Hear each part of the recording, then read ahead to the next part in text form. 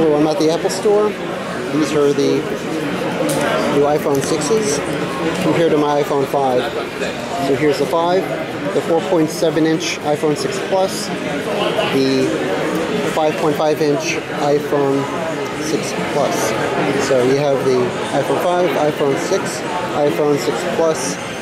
Um, as far as general specs wise, the iPhone 6 Plus will give you approximately 30-40% more battery life.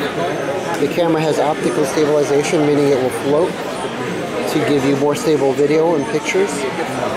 And uh, the display resolution is 1080p versus around 1300 resolution on this. And also, um, you have landscape modes, more like an iPad on this one. So um, show you how it feels in the hand. Plays the hole, hand goes around it.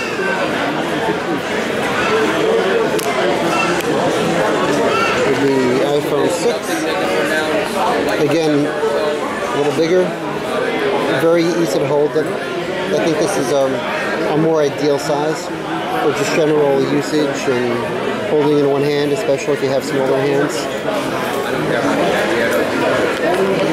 Here's the 6 Plus, which is still doable for me in one hand.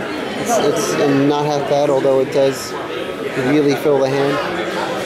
It's a little bit more awkward just as ba for basic phone use or to quickly get into an app. A little bit more cumbersome, but it's still very doable. It's not all that big and it's especially going to be nice for for gaming.